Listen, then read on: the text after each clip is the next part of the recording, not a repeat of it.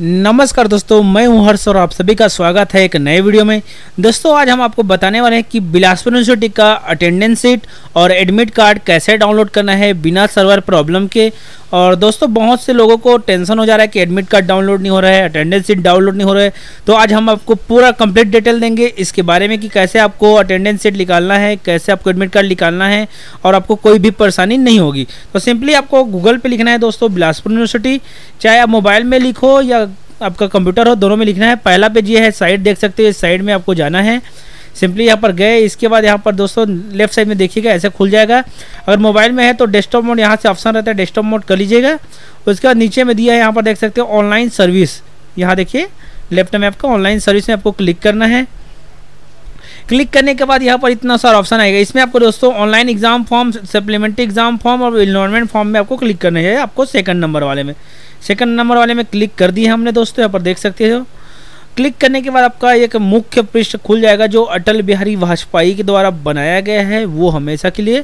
वो main site है। इसी साइट से आपको attendance sheet admit card question paper आपका फॉर्म का प्रिंट आउट हर एक चीज़ का आज हम आपको कंप्लीट डिटेल देने वाला है कि कैसे आपको फॉर्म कंप्लीट निकलना है। तो इसमें अभी सर्वर प्रॉब्लम चल रही है, आप जानते हो थोड़ा सा तो सर्वर खुल गया, देख सकते हो।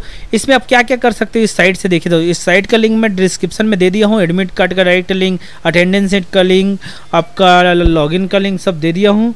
तो देख सकते हो यहाँ पर कुछ इस प्रकार यहाँ पर देख सकते हैं, यहाँ लॉगिन करके स्टूडेंट लॉगिन यहाँ करके आपका फॉर्म को प्रिंट आउट निकाल सकते हो।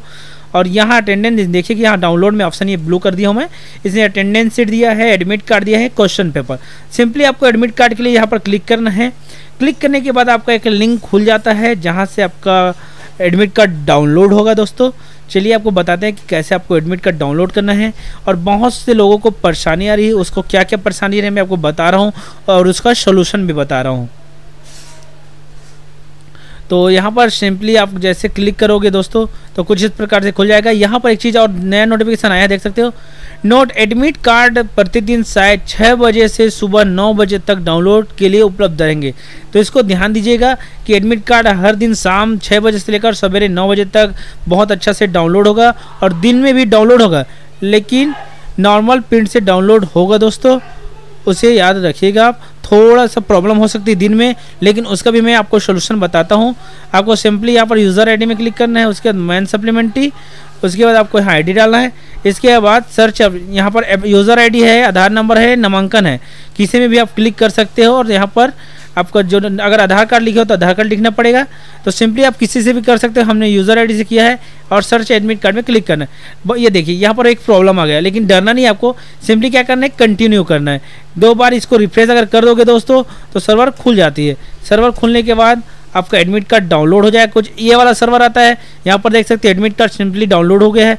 दूसरा सर्वर प्रॉब्लम आता है, जैसे ये वाला देख सकते हो H T T P error पाँच सौ। अगर ऐसे भी आता है तो आपको सिंपली इसको रिलोड मारोगे तो वो भी आपका खुल जाएगा। देखने में यहाँ पर मैं अटेंडेंस सीट के लिए डाला था खुल गए जैसे यहाँ पर इरर मारा हुआ है तो इसको आप अगर रिलोड मारते हो दोस्तों रिलोड करने के बाद यहाँ खुल जाएगा, देखिएगा।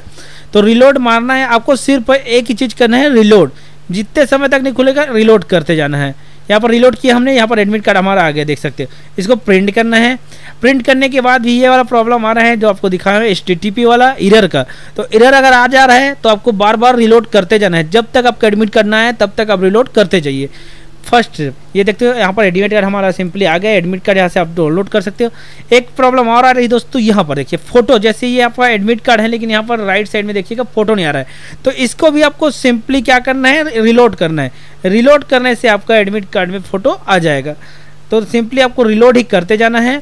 और आपका प्रॉब्लम भी मैं सॉल्व कर दिया हूँ। उसी प्रकार से दोस्तों, यहाँ पर आपका अटेंडेंस सीट का। अटेंडेंस सीट में भी आप जैसे यूज़र आईडी डाल रहे हो मेन एग्ज़ाम डालोगे, यहाँ पर आईडी डालोगे। तो ये क्या हो रहा है? सर्च करने पर नो रिकॉर्ड फ़ोन दिखा रहा है। तो इसको आप आठ बार कीजिए, दस बार कीजिए, पंद्रह बार कीजिए, ये भी आपका डाउनलोड हो जाएगा। तो रात में 12 बजे के बाद बहुत ही अच्छा सर्वर चल रहा है दोस्तों। तो रात में अगर 12 बजे आप जगते हो तो बहुत जल्दी अच्छा समय है कि कर सकते हो। और ध्यान रखिएगा कि आपको रिलोड ही करना है। ओनली अगर कुछ भी प्रॉब्लम आ रही है तो रिलोड करना है, आ जाएगा। दोस्तों, चलिए कैसे लगा एक छोटा सा जानकारी मुझे कमेंट कर कर जो बताए। डायरेक्ट लिंक मैं डिस्क्रिप्शन में दे दिया हूँ, वहाँ से आप डाउनलोड कर सकते हैं एडमिट कार्ड मिलते हैं दोस्तों एक ऐसे नए वीडियो के साथ। तब तक के लिए बाय जय जोहार, जय छत्तीसगढ़।